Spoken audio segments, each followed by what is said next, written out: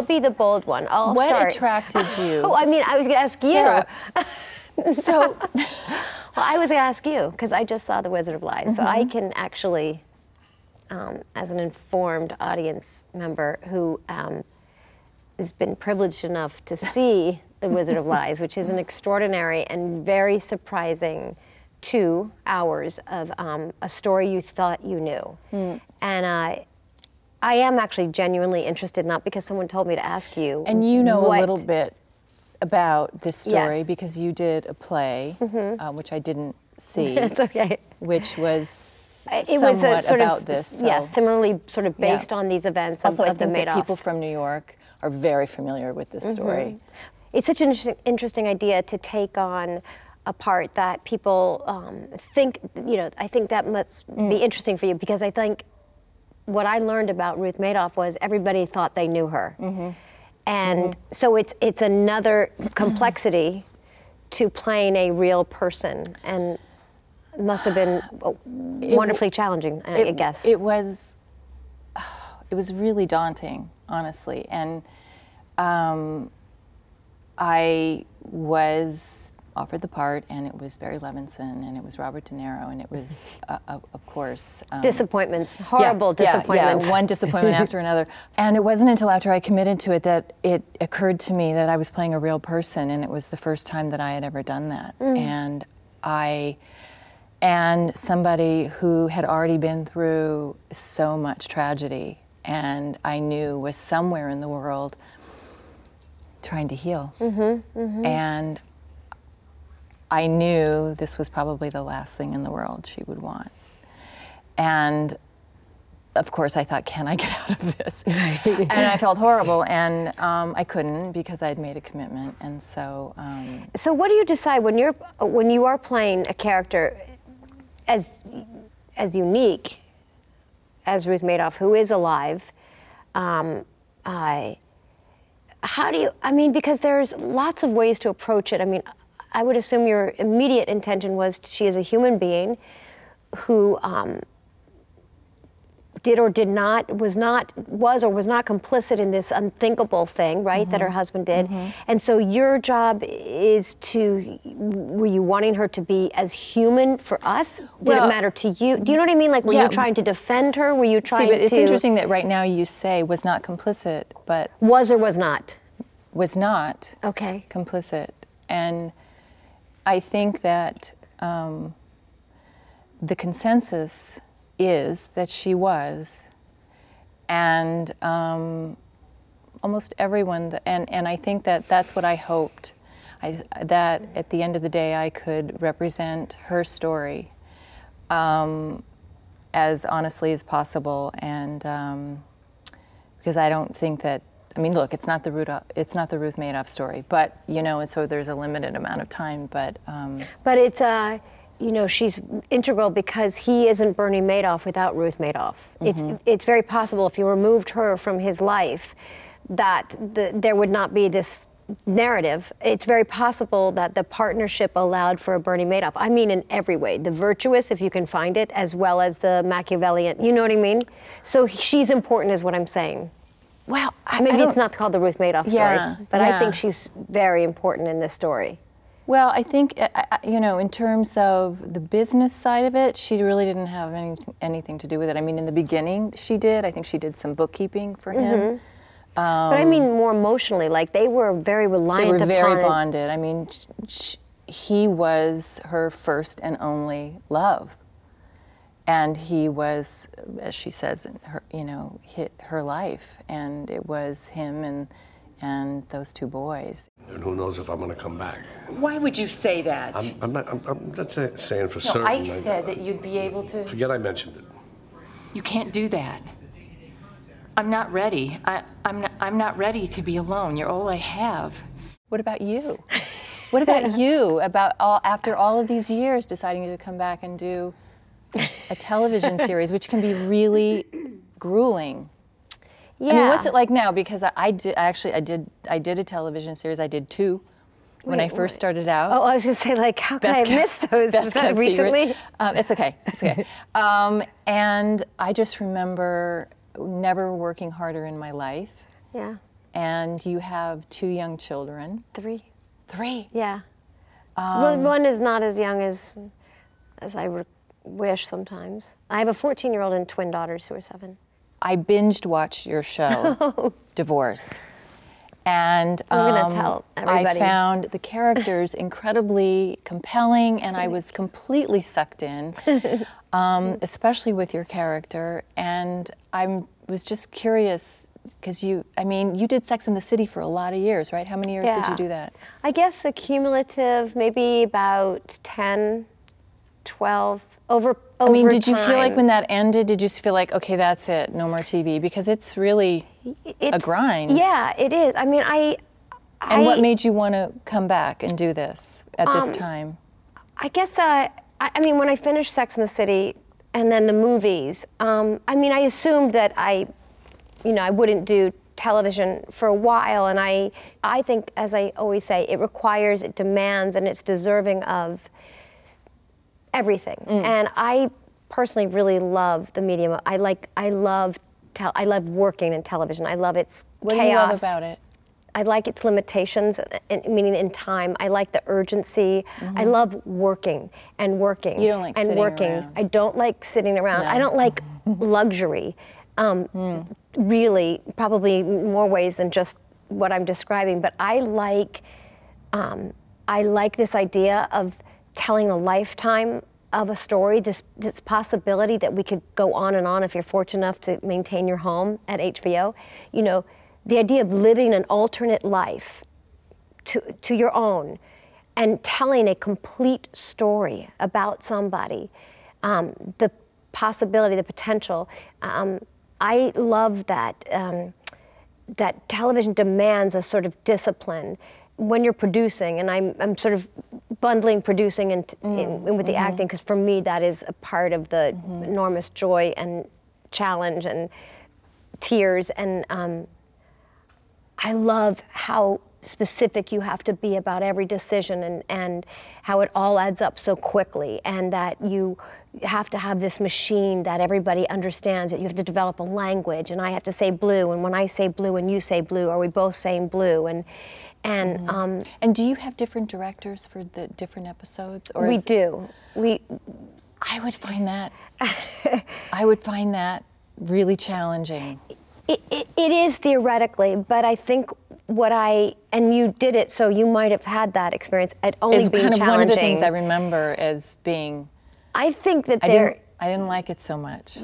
I I understand that, and I think in theory, to me, it, it, if I think about it, it's terrifying when there are new people. But I mean, how do you how do you create that shorthand with them? How do you Right. get on the same page? So week after we week have, and having to um, start over. it's an enormous concern of mine, and I'm a real gatekeeper, watchdog, you know, about these things. We now have a director that, our Adam Bernstein, who's directing our first two episodes. That's sort of his job. He is our director, but he also is a um, a a producer. He's a producing director, so his job is to sort of take care of, um, Is he a watch over. Is he sort of the showrunner? He's not. No, it's different than a showrunner. Okay. Um, no, no, no, no, no. These are good questions. His job is to, in prep, teach if there's a new person, like an interloper coming on, he needs to teach them the language. So what I always said in the first Did season, you I- have that the first? we did, but I thought what was most helpful was showing dailies that I thought were the most successful attempt at what we were trying to do to make sure that every new director that came on, I would say like show them uh, show them scenes 11 from episode three because that really is what we're trying Mm. to do. Mm-hmm. And if they see okay, so they really are working in masters and they really are overlapping and they're really doing this and that, then they're understanding the language more quickly. I want to save my life while I still care about it. I don't love you anymore. I want a divorce. Oh, God, Robert. the promise is kind of thrilling like somebody new someone new to like make proud or hmm. someone new who's excited and not tired yet mm-hmm. you know i don't know mm-hmm. but i love television and it was a decision that came not because i was plotting it but i was this was an original idea of mine five years ago and, and it was just an idea i was curious about marriage and you know like what does an American like what does a middle class American marriage look like today? And when there is um, when there is um, disappointment in a marriage, when there is um, extracurricular activity, how does a marriage survive it or not? And um, I, I just wanted to tell it like I love Cheever stories and, um, you know, uh, sort of Scandinavian filmmaking. And so I was interested. And then eventually it sort of became apparent that HBO was like, well, you, for you. And I was, oh, I hadn't considered it for me. I was just wanting to tell a story. So I wasn't developing So it you were just developing it as a producer. Yeah, yeah. And then I had all these other people in mind that I wanted to play the par- part. I will never say because everyone will be like, ah. Uh, but um, but then when it was presented, I was like, well, yeah. I mean, I love this woman. I love. She's so unfamiliar, and I was so, so excited. So I said, yeah. I mean, I got the blessings of my family and my husband, and knowing what it would ask and require. Also, it's it's um, it's how many episodes? This season, we're only getting to do eight. We did 10 last season. Which is a season. lot different than doing. 22. yeah. Yeah, No, it's like total yeah. gift. It's so much more civilized, it is. And we shoot in New York, and and you don't burn people out. right. And That's the work our. is fresher. The work is better. I mean, as you and I were discussing earlier, your children are at like new milestones in their life, but as mine are still at home. Mm-hmm. My young adults. Which is so I crazy know. to I, will, will I ever stop calling them my children? Um, but you know, because you know, I've read a lot when you are willing to share in interviews about your life and the decision, you know, the, the decisions you make as a parent, as a wife, as an actor, how you have made other choices in the past when your children were, young, were mm-hmm, younger, mm-hmm. and so being able to shoot in New York allows for me to get to make a choice. Period. Mm-hmm. You, you know. so you have a 14-year-old, and how old are your twins? My twins are seven. Almost, they'll be eight in June. Yeah, being able to shoot in your hometown is completely different and doable. Yeah. Well, I guess I'm, I'm curious about, um, and I'm basing this because I just read an interview. I was at Interview Magazine. Mm-hmm. Did you? And you talked a lot about um, making decisions, Hmm. sort of as a parent first. And um, I'm just curious about even how you arrive at that. You know, like like what is the balance and how you know what you want versus what your children need. Do do you know what I mean? You know, there are no hard and fast rules. And really, with anything in our business, which is one of the challenges, you kind of make it up as you go along. And um, the rules sort of um, develop um, as they age and it changes. And Right. um, I think that when they were little, when they were really little, I could just take them anywhere. Yeah. And then once they started school, I felt like I didn't want to take them out of school during the school year. And so I sort of had these rules that, um, all right, well, I guess I'll only go away for, you know, a certain amount of time this time of year. Summer is different. Right. And before you, I knew it, I just sort of, it was, I was impossible to hire because I, I just had all of these demands. And not that I meant to be demanding, but I was just, I was trying to keep, Yeah. you know, Yeah. a foot in each world. And Yeah. um, you think it would become easier, but I think that the older they get, it felt, it feels that you know things just come up, and if In their lives. in their need you. lives, and you're not, and you just want to be there, and Yeah. um, so um, I think that having children and doing television is really a, a wonderful option, and Mm-hmm. television has changed so much since you know just even in the last 10 years and Mm-hmm. Especially for women it's Yeah. Mm-hmm. such an amazing place to do great work Yeah, and i yeah. feel like the best work for women is happening on television There's a lot of great women doing. Um, I just want to ask you front, one more in front of the camera about behind the yeah, camera yeah all over and yeah. doing better by um, some of those areas that were, um, I think, legitimately criticized for lack of um, diversity and gender, and um, television seems to um, not by um, by force, but really naturally come to female directors more, writers, um, and diversity more. When you kept saying no to work, most of the work, because it would take you away. I'm just wondering, like, were there times when the children were at school and you thought, wow, th- this is, I have made, I have sacrificed, and I miss sometimes that other thing?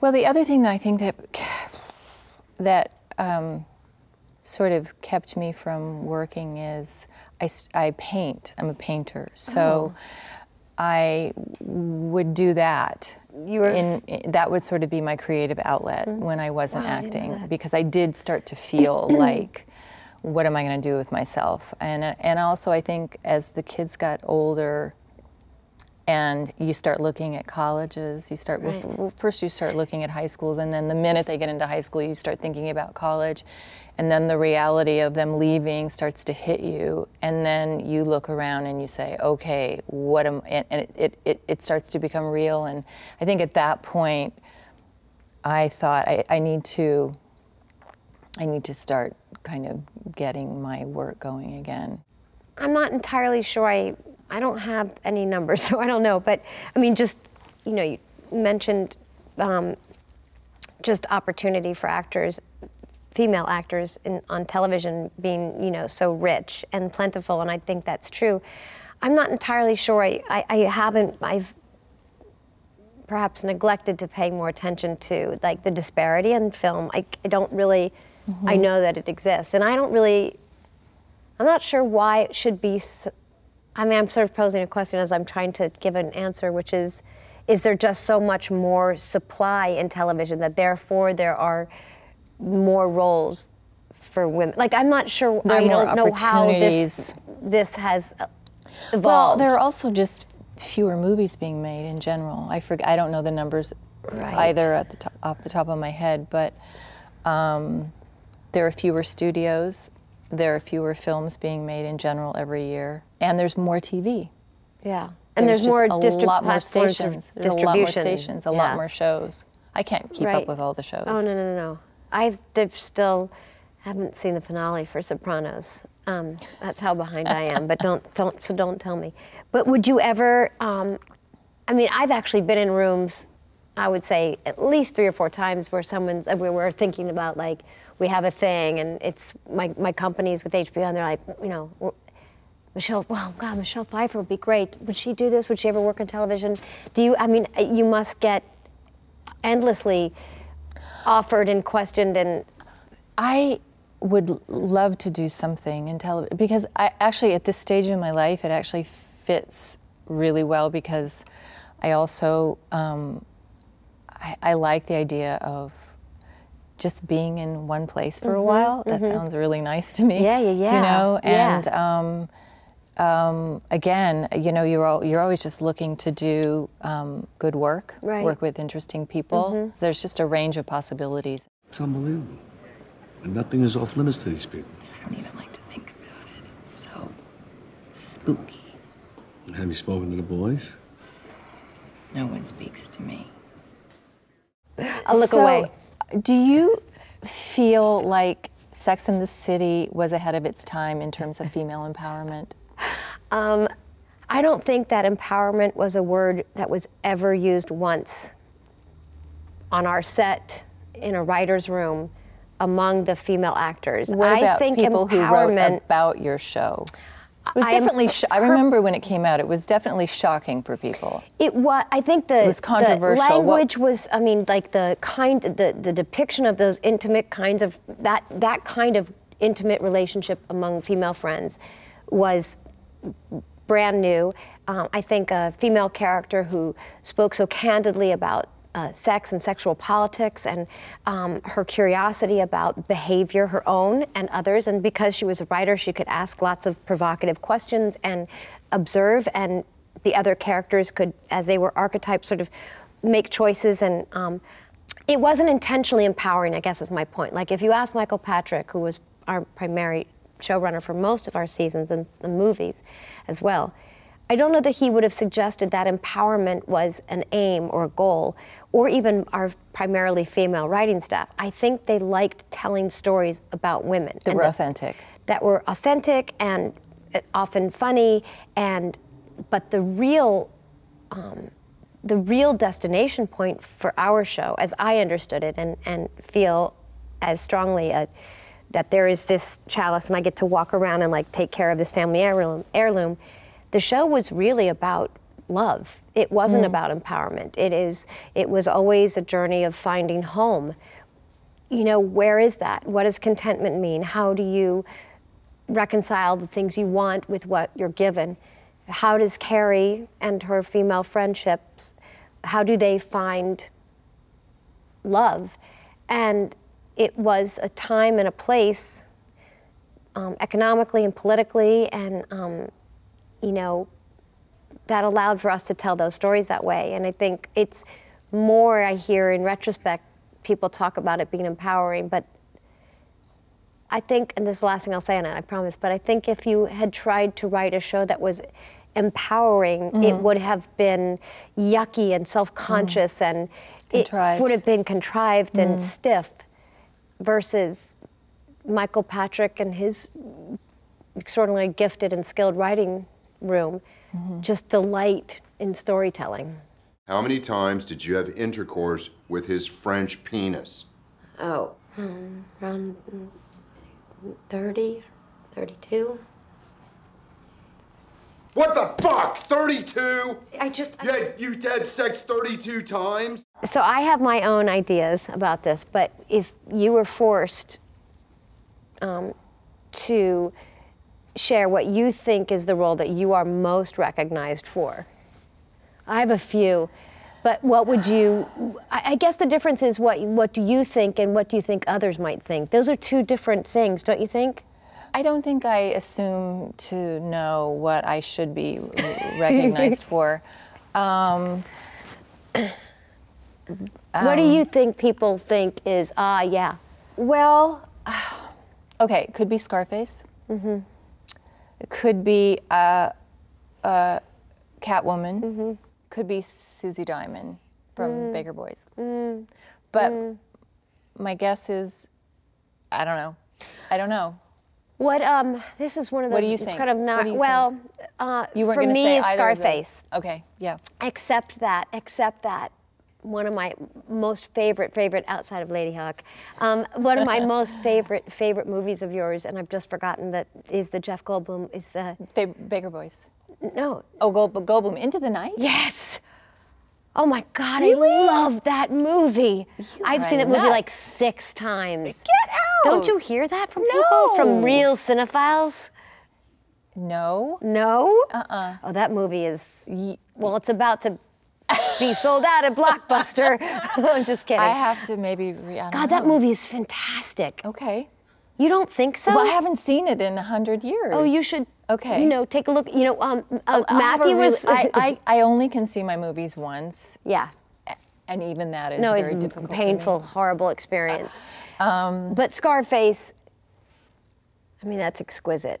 They- I just saw it. My, James Wilkie just watched it with Matthew. Mm. He's mad. He's mad for it. Matthew's like kind of walking him through movies of that decade. weird- I guess so. Although it's so like as a um, movie like for an audience as a movie going experience, it's so complete. You know, I mean, it's everything. It's physically so beautiful to look at, thanks in large part to you and that dress and then the bathing suit, but also because um, he's such a perfect filmmaker. You know, like he's such a he knows how to like gin the audience up. You know, he knows how to like pull you in and and then you care for all the wrong like the wrong guy. You like it's also he's such a great filmmaker. So I I can see why that is such a completely satisfying, you know, experience. Um, wait, I was going to ask you one other thing. Oh yeah, you reminded me. You just said uh, what did what did you say about um, oh Midnight Run? Um, Matthew was. Um, you mean telling you mean stories into the night? Into the night. Sorry, Yeah, into the night. Same thing. Yeah. I'm just kidding. Um, that's a great movie too, but you're not in that. I'm not in um, that, no. But um, Matthew was telling this story about um, Marlon Brando and and uh, and you know you said you haven't seen Into the Night except for once, and that was in what 80. I couldn't even begin to tell you what year it was. It was a great year. um, and so he said something to Marlon Brando about like, um, you know, yeah, I've never seen it or haven't seen it in years. Matthew's like, yeah, you should, you should see. You're really good in it.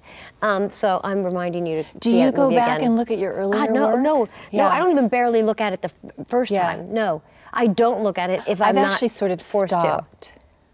Actually, even looking at finished movies, I Oh, don't yeah. always see everything to. Me finished. neither, unless there's occasions they force you to. Well, some yeah. for press, like if you're like, well, but I would be blissfully happy to not ever see another. a, a picture, dailies, the completed thing, a rough cut, none of it. I find it just. Why is it so hard? You tell me. No, I asked you first.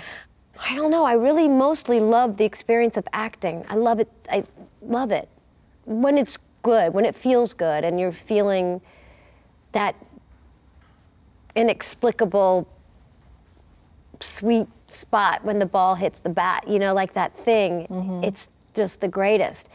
The pleasure is not the seeing it that way. The pleasure was the what? How much time do we spend? 40% of time on the set, actually, the camera rolling? Right. And with a great person opposite, the acting is for free. That's the best. I hmm. don't need to, and I don't want to look at stuff that doesn't really matter. I don't want to pay attention mm-hmm. to stuff about vanity that's like foolish and it's not going to mm-hmm. help anything. And I love being an audience for other people, but I would prefer not to be my own. Hmm. What about you? What's your problem? I think it's just the being so self-critical, and I think um, there's the perfectionist in me, and acting is not perfect. And I think Right. um, I've always been at my um, that nature. uh, It's become worse as I've gotten older, and um, I you realize a- after you've been doing this for as long as I have that um, it's looking at bad takes is not going to make it any better. It's not going to change anything. So why put myself through it? And for some reason, I've just become, I think, um, the experience has become more and more in, important to me. You know, Yeah. and obviously you you care about the finished product, but you realize at a certain point you you only have so much control over Yep. that. Yep. So. Um, and Do you know, ever, have you ever um, been part of the editing process? I had when I, I used to produce, and, And- uh, and- and I actually really love editing. I, I actually think that I would. Um, first of all, I love things that are tedious, Right. And I love the exactness of Yeah. it. Um, and so that I- means you could look at yourself in the editing process more easily than you would actually be able to if you weren't involved on the screen. And maybe that's. Maybe when I was producing, it made more sense for me to watch right. things and to go to dailies and to be familiar with the footage because I had I had more to say about it. Mm-hmm. Now that's not to say usually directors are pretty generous and they actually a lot of directors will welcome you into the editing Mm-hmm. room. I've found. Now I just want to kind of go and act and and have and enjoy that experience as much as I can. I was saying how great all the performances are in the Madoff piece. Like it's really, it's a real great um, class for actors to watch. And in, a way. I mean, every performance, the Sons and your own and Mr. De Niro, and you were talking about um, Barry Levinson. and What you were saying, you know, what a actor's director he is, and. Um, it's so great to hear that because you really see it in the work and i'm just i would love if you can kind of describe how what that means like when you say an actor's director like what does that for mean For me, Barry, for me, Barry Levinson is like a perfect director Mm-hmm. because, um, you know, we all have our strengths, and, and a- a, lot of times, you know, directors, maybe their strength is more visual, maybe it's more with camera and Mm-hmm. shots and. Um, um, effects and things like that, and you know maybe they don't focus so much on performance, and then you have the other side of it where they're more performance driven and maybe not so not so technical. And he's both. And i had always wanted to work with him. And um, there were a couple of close calls earlier on in my career. And so i I had just I had forgotten that he he is a perform he really knows about performance and he uh, so like can you he just, also like, does doesn't that like you know Is what he, he- does he doesn't also he doesn't waste time, and it, I think it's one of the things that you love about doing television is that he's economical and he's so clear and he's so confident and he's has the vocabulary, and so So, like, meaning, would he just have small, really smart adjustment to make that you could feel? Sometimes they were big, sometimes they were small. I mean, they were just always very specific and they were always right. Yeah. And when he moved the camera, it was because it made sense. And so sometimes, ye- sometimes there's an amazing camera move that absolutely has nothing to do with Right. really, or they want some sort of staging because it's for some other reason other than it, it, it really makes sense for the characters. Yeah. Those are really challenging to try to make those work. Yeah. But it was always um, very cohesive and and helped whatever he asked you to do. Was good. Yeah.